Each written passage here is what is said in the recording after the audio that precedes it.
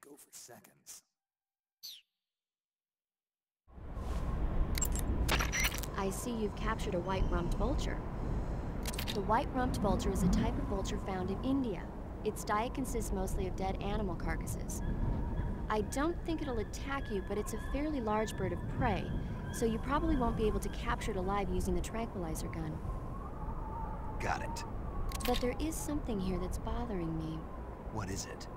They say the white-rumped vulture doesn't just eat animal carcasses. It eats human ones as well. Is that so? Yeah. So then if a person eats a white-rumped vulture, does that mean he's eating human meat too? What do you think?